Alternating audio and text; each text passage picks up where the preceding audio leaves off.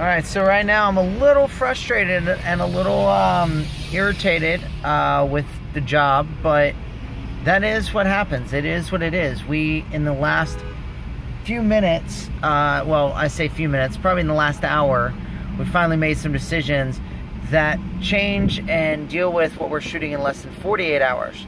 So, not the most ideal situation, but as I said, it is what it is. So, I'm going to figure it out and we're going to make it work. So, right now, I'm headed to a meeting, um, an impromptu meeting to figure out some tents for later on in the show and a few other supplies things um, since I don't have some of the funds and availability to do some other things. So here we go.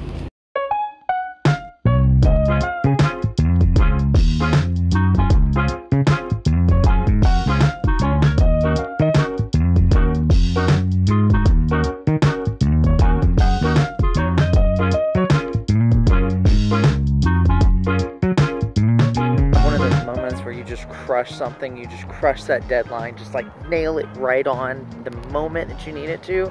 Yeah, just did that with sending uh, credit card authorization and a contract to a event rental company and literally had the 5 p.m. deadline and just hit it right on.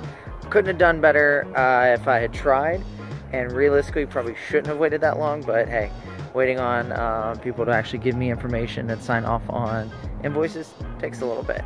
But yes, that is a great feeling. Just nailed it.